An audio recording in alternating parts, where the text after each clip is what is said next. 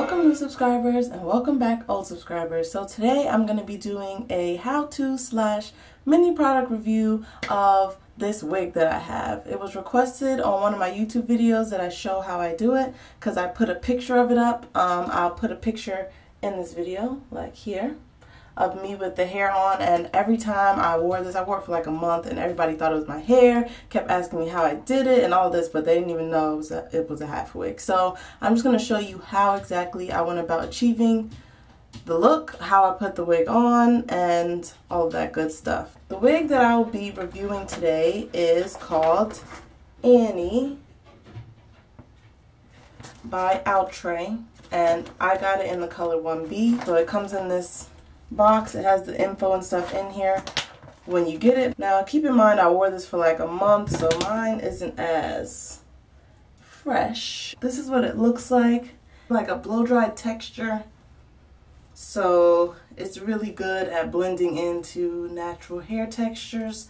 Um, as for the insides, as a comb at the front and a comb at the back also has adjustable straps in here as well. Now, I don't do wig reviews, and I almost didn't do this review because I was like, oh my gosh, a lot of my friends watch my YouTube videos. I don't want everybody knowing that I'm wearing wigs, but this hair is really bomb, so I'm going to do it anyway. As for the little details, I'm going to leave those in the description box, like price, website, where to get it from.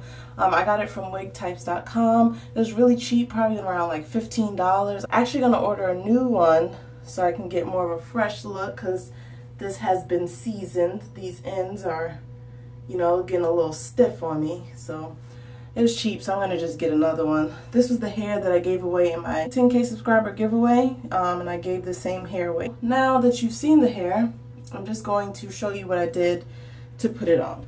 Okay, so my hair has been in a bun for like a day, so it's a little stiff right now, but because I'm just going to put it back up, I'm not really, I'm not going to brush it out.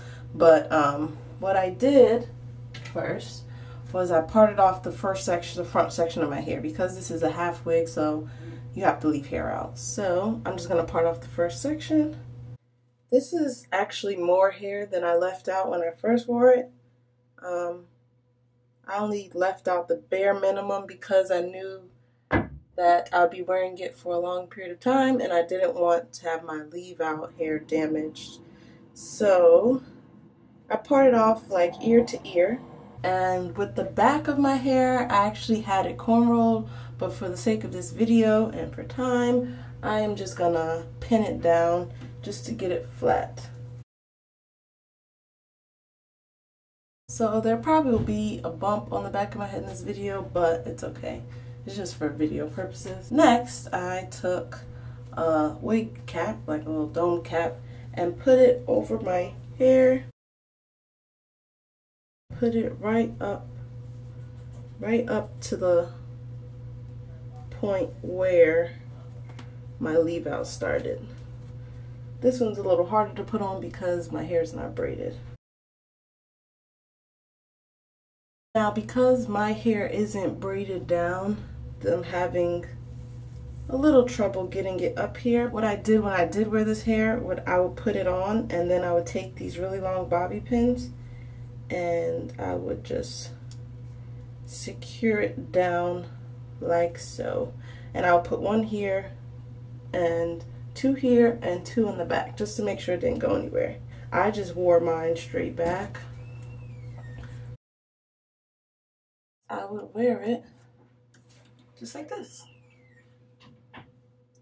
It's about waist length on me and I'm tall, I'm 5'10". You can do so many styles with this. I used to wear it in like a fish tail braid. I've done braided headbands with it. The only thing that I don't like is that it gets old kind of quick. Like it's, it's very stiff now. It feels product, like it has product buildup on it, but I didn't put any products in it.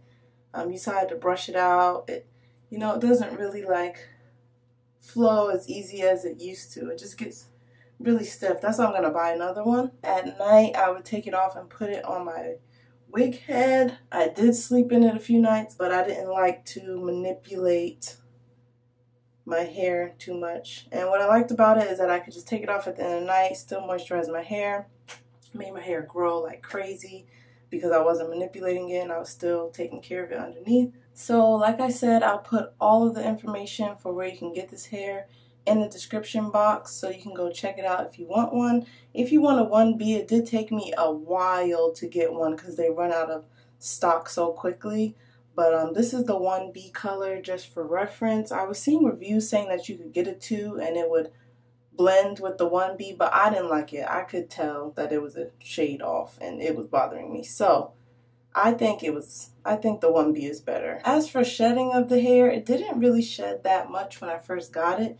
But now that it's older, like even running through my hands, my hands through it, I'm getting quite a bit of hair every time I run my hands through, just with each pass. Once again, getting hair coming out. If you want to wear this hair, I would um, suggest being really careful with it. Um, you may have to invest in more than one, but at least you know what it looks like and that it's worth it. Especially since it's cheap, it won't really hurt your pockets. I think it's very convenient and easy for people that don't know much about wigs like myself. This is my first one that I bought.